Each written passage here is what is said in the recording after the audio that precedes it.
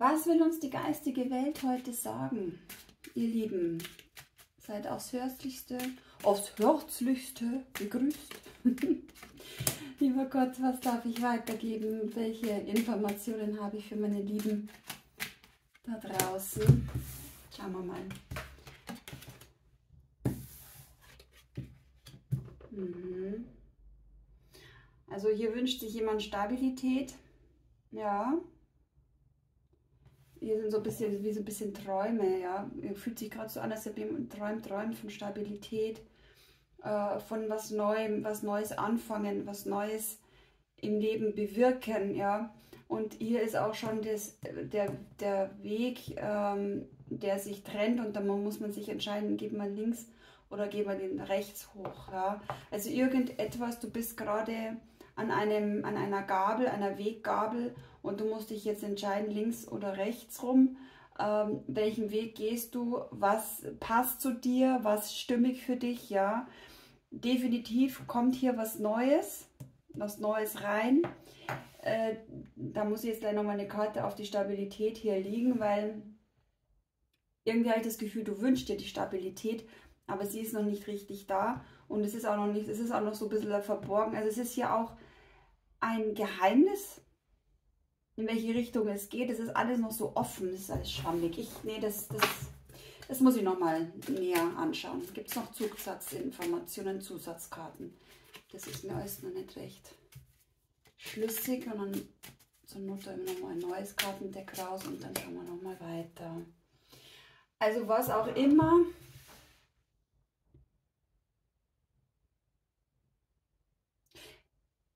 also was auch immer du dir wünschst, dass was Neues reinkommt oder wo auch immer dieses, dieser Umbruch stattfindet, du bist schon die Schlüsselperson. Also du hast die Schlüssel in der Hand und du bist diejenige, die oder derjenige, der entscheidet, ja. Du bist derjenige. Und hier kommt auch äh, Thema Kommunikation. Eventuell wirst du dich mit anderen austauschen. Eventuell ähm, wirst du Selbstgespräche, um dir das Ganze ähm, ja, manchmal, wenn man vor sich her redet, dann kann man sich das besser, ähm, man kommt besser ins Gefühl, ins Thema rein. Ich kenne das auch, manchmal meint das auch bei mir. Und sowas in die Richtung ist es, ja. Ähm, Kompetenz ist da gefragt, eigene Kompetenz.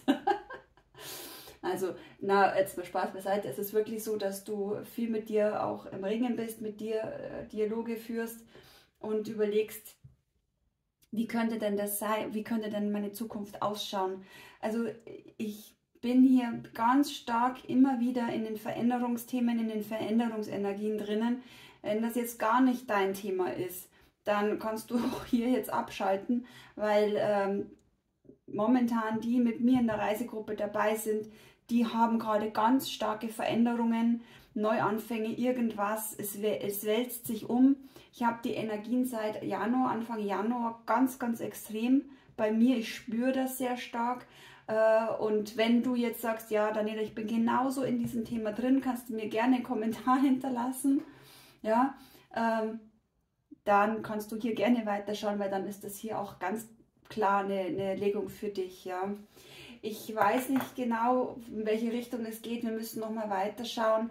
Es ist hier nur wie so eine Überschrift gerade, ja. Eine Überschrift, es kommt was auf dich zu, es kommt eine Veränderung.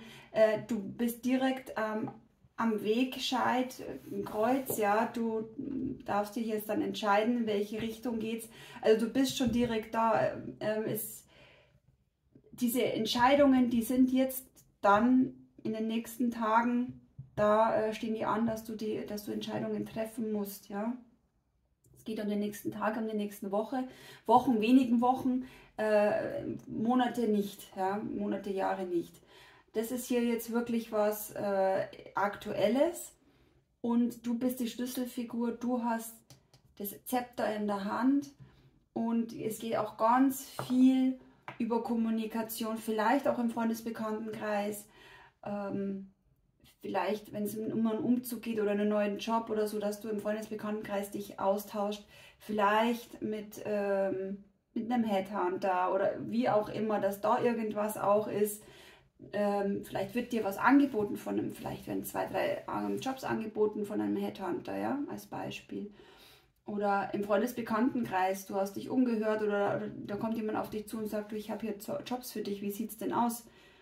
Und dann stehst du auf einmal da vor der Wahl, mache ich weiter, wie, wie mache ich weiter? Oder gehe ich den alten Weg, ja? Vielleicht brauchst du auch gar nichts für dich Neues, dass du sagst, nein, es war einfach nur jetzt schön, mal zu sehen, dass ich noch ähm, auf dem Markt ja, begehrenswert bin, auf dem Markt was wert bin, ja, beruflich und, ähm, und ich gehe einfach weiter. Oder vielleicht kannst du dadurch auch mit deinem Chef, mit deiner Chefin andere Konditionen absprechen und sagen, du, ich habe hier Angebote, sind welche interessiert an mir, ich würde gerne bleiben.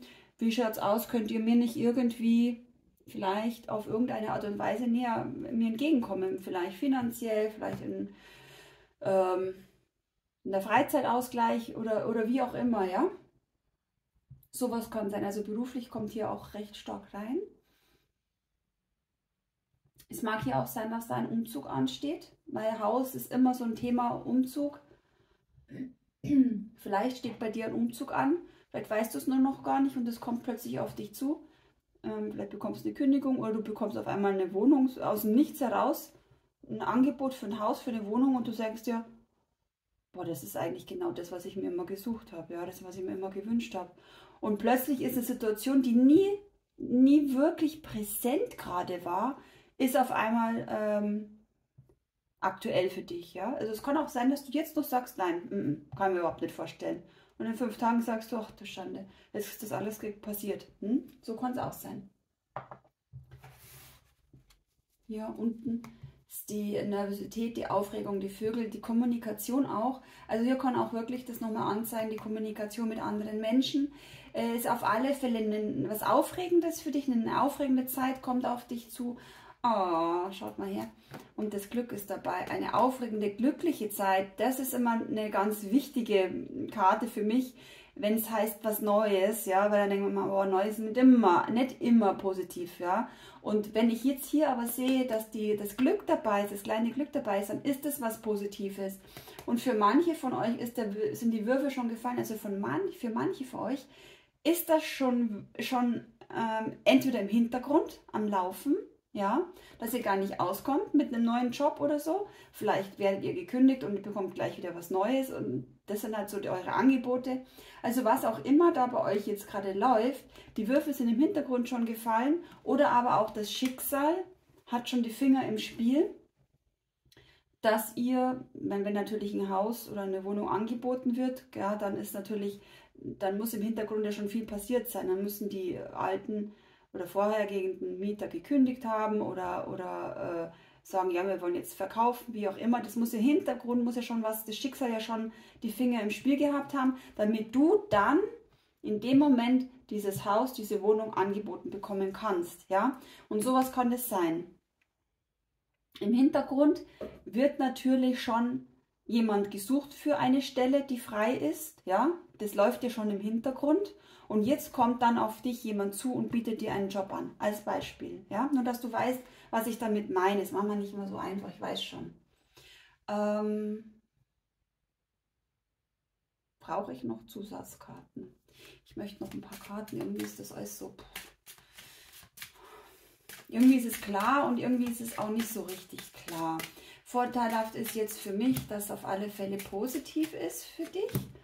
Und das höre ich immer gerne. Hm, ja, das war Schicksalhaftes hier. Ah, haha, die Sonne. Juhu, juhu, die Sonne. Wir brauchen sie alle in unserem Leben. Momentan finde ich, brauchen wir es besonders, weil ich irgendwie das Gefühl habe, wenn das gerade alles zu diesig ist. Geht es euch auch so? Also momentan, ich, ich brauche jetzt Sonne und Wärme. Für mich kann es jetzt gerne Sommer werden. Gell? Frühling, Sommer. Ich bin bereit. So. Also was auch immer jetzt hier auf dich zukommt, das ist hier Gott gewollt. Das ist hier eine Gott gewollte Veränderung. Ja? Das ist schicksalhaft, Gott gewollt.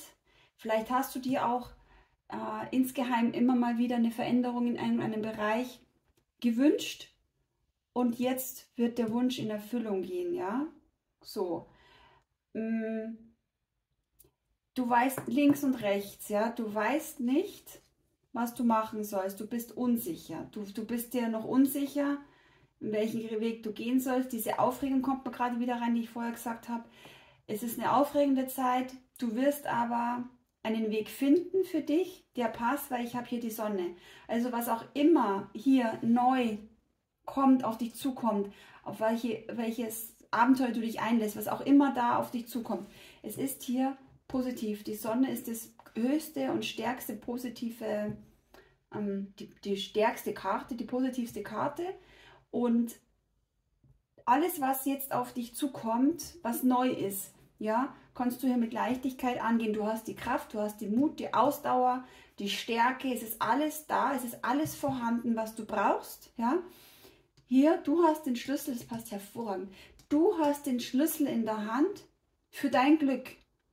Ja, die Rose, es ist alles da. Du, du bist perfekt, so wie du bist und kannst alles so handeln. Ob das jetzt ein neuer Job ist oder ob das jetzt äh, ein Umzug ist oder in welchen Richtungen auch immer du Veränderungen dir wünscht oder die reinkommen, es wird am Ende positiv sein und du kannst das alles stemmen, ja? Und es werden positive Gespräche, kraftvolle Gespräche. Vielleicht kommst du aus einem Bewerbungsgespräch raus und bist völlig Feuer und Flamme. Vielleicht möchtest du irgendwie dich selbstständig machen, dass da irgendwas Neues reinkommt, ja? Vielleicht eine große Firma, die dich, die dir anbietet, ein Franchise-Unternehmen anzufangen, irgendwas in diese Richtung.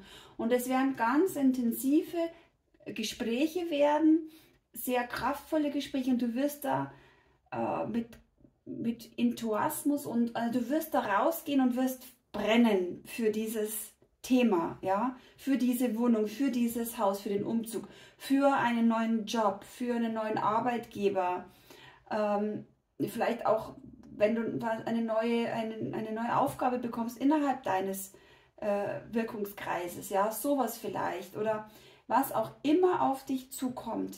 Es wird auf alle Fälle dich beschwingen, ja, du wirst dich darüber freuen.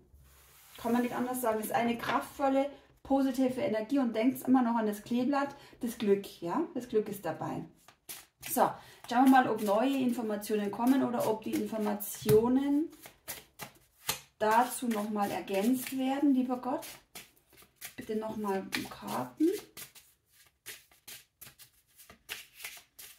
Schauen wir mal, da ist noch eine. Okay, dann gucken wir mal, was uns die noch ich, ich, es, ist, ähm, es ist unfassbar. Es ist unfassbar. Also wenn ihr meine letzten Legungen gesehen habt, ja, dann werdet ihr sehen, dass jetzt schon wieder die Veränderung da ist. Es ist wirklich, wer jetzt hier bei mir dabei ist, da kommen Veränderungen, du kommst es, du kommst nicht aus, ja. Du, da irgendetwas wird sich ändern in deinem Leben. Irgendetwas. Vielleicht, vielleicht ziehst du mit deinem Freund zusammen, mit deiner Freundin zusammen oder, oder du, du ziehst von deinen Eltern weg, ja, wenn du noch ein bisschen jünger bist und, und oder gehst in eine WG oder es wird irgendwas kommen, was aber auch wirklich eine, mm, eine starke Veränderung in deinem Leben hervorruft. Ja? Es ist nicht mal eben so ein bisschen, sondern es wird sich sehr, sehr stark verändern. Es wird dich auch verändern, kommt gerade durch. Ah, okay. Also für die, die jetzt gerade sagen, ja, ich möchte abnehmen, ja, ich möchte gerne Fasten abnehmen, sowas in diese Richtung, bin ich auch gerade dabei. Da wird eine signifikante Veränderung in deinem Körper stattfinden, gesundheitlich und möglicherweise wird man es auch sehen, ja, dass du abgenommen hast oder dass deine Haut besser ist oder wie auch immer. Also da kann auch sowas kann auch sein, ja, wenn das dann dein Thema ist, mag auch sein auf alle Fälle, du siehst Veränderung. Also du, wenn du bei mir hier in der, der Gruppe dabei bist, dann wirst du aus dieser das das, du kommst nicht aus, ja. Aber das ist hier eine positive Veränderung. Vielleicht ist es auch eine Reise, ja. Vielleicht möchtest du verreisen und du wirst einen, eine geniale Reise haben, einen, einen super Urlaub haben, der dich vielleicht sogar ja, vielleicht kommst du auf neue Ideen oder du lernst Leute kennen, die dich mm, die dir einen neuen Blickwinkel äh, geben. Irgendwie sowas, ja. Hier ist der gute Herr. Das ist der Mann, der der Mann oder die Frau, das kann der Chef sein, der dich, der dich unterstützt, die dich unterstützt. Ja, das jetzt steht zwar der gute Herr, kann aber eine Frau sein, die sehr viel Kraft, sehr viel Power hat. Das kann auch sein, ja. Ähm, das lasse ich immer so ein bisschen offen. Es kann sein, dass hier jemanden gibt, der dich unterstützt bei der Veränderung oder der, der oder die zu dir reinkommt und sagt, hier, ich habe einen Job, ich habe hier eine Wohnung, ich habe hier das Haus. Vielleicht ein, ein Makler, eine Maklerin. Ich habe was für dich. Wie schaut's denn aus? Wäre das nicht was für dich? Du suchst doch. Ja, irgendwie sowas. Vielleicht gehst du in ein Café, lernst in einem lockeren Gespräch eine Maklerin, einen Makler kennen. Ja, und dann heißt du, Moment, ich habe was für dich. Das, manchmal sind es so, so ähm, schicksalhafte äh, Begegnungen, ja. Und dann fängt es an, dann geht äh, Rad des Schicksals fängt an sich zu drehen. Ja. Irgendwie kommt was Schicksalhaftes, irgendwas, das soll so sein, das kommt bei mir raus. Schicksalhafte Veränderungen, schicksalhafte Begegnungen. Ähm, kommt gerade nichts von der Liebe. Also das hier hat jetzt nichts mit Liebe zu tun. Das, das hier ist irgendwie, ja, das, das ist irgendein anderes Thema. Also wie gesagt, Umzug vielleicht, jobmäßig, auf Reisen, irgendwas. Das ist jetzt in dem Fall, das kann vielleicht später noch eine, ein Thema Liebe auch mit drin sein. Aber hier in dem Fall, also diese Karten hier zeigen mir was anderes an, anderes Thema. Ja, die Veränderung nicht in der Liebe hier, in dem Bereich. Hier sieht es anders aus. Das habe ich ja schon gesagt. Kann schon sein, dass du da vielleicht mit deinem Schatz, mit deiner Schatz, mit deinem Schatzi zusammenziehen möchtest. Solche Geschichten, das kann auch sein, ja.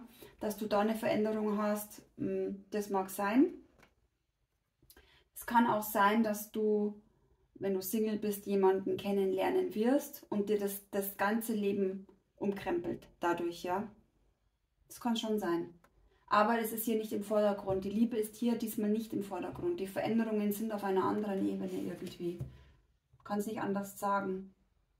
Ist irgendwie gerade so, so drinnen. Na, das sind nicht die Karten, die sich anfühlen. Die Herzalkarten sind es heute auch nicht.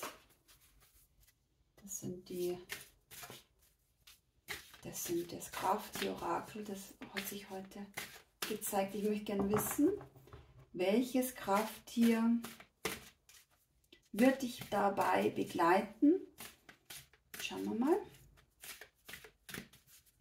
Na komm schon, eine Karte. Ja, wollte gerade sagen, kann ja nicht sein. So, das Eichhörnchen, glaube an dich. Wenn du bis jetzt dran geblieben bist, dann ist das nochmal eine ganz klare Motivation, Glaub an dich, du kannst das alles, du schaffst das alles. Es ist einfach nochmal ein Zusatz, was ich schon vorher gesagt habe. Du hast den Schlüssel in der Hand, du hast alles, die, die Rose ist hier innen drin perfekt. Sie ist erblüht, sie ist wunderschön, sie ist perfekt. Das heißt, glaub an dich. Du bist perfekt, du hast alles, was du brauchst, um das Neue, ähm, dem Neuen zu begegnen zu können auch, ja. Weil manche träumen, ja, ach, ich hätte gerne, ich hätte gerne einen Geschäftsführerposten, ja. Ähm, hast aber von Tuten und Blasen keine Ahnung, einen Job, ja, das macht dann keinen Sinn.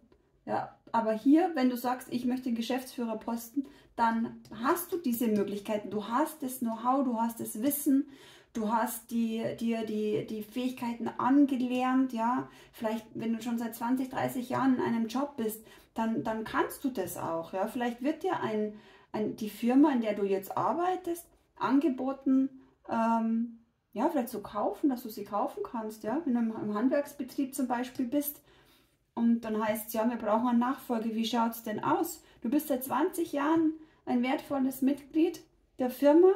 Bei dir kann ich mir das vorstellen. Ja, es kann auch sowas sein, dass der gute Herr vielleicht dein Geschäft, äh, dein, dein Arbeitgeber ist und der dir anbietet, hier die Veränderung anbietet und sagt, hier, wie schaut es denn aus?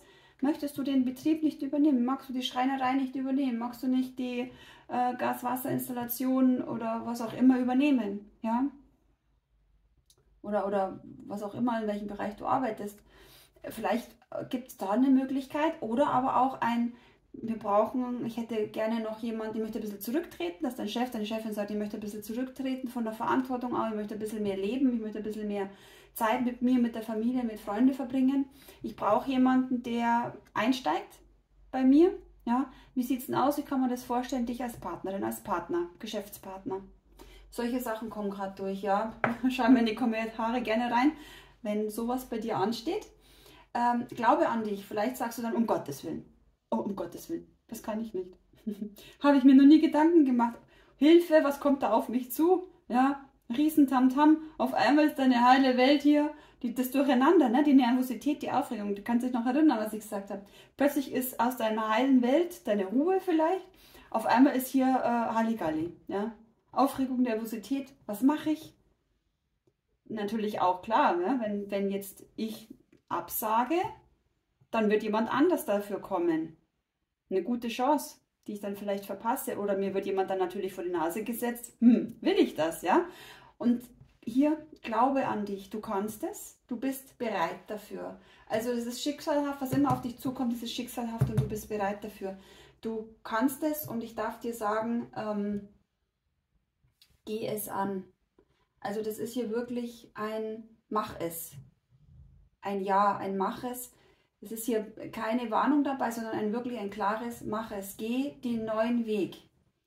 Wenn du hier die Angst hast, die Veränderungen, ja, was mache ich? Wenn du natürlich zwei, drei Angebote hast, dann ist es vielleicht manchmal ein Fluch und manchmal ein Segen, klar, weil man sich entscheiden muss. Aber auch da, glaub an dich, du wirst den richtigen Weg für dich finden. Ja, glaub an dich. Ja, Wunderbar, tolle, tolle Karten. Ich, äh, meine Lieben, ich freue mich immer über ein Like, über Kommentare und wenn ihr mich noch nicht abonniert habt, wenn ihr mich kostenlos abonniert und weiterempfehlt.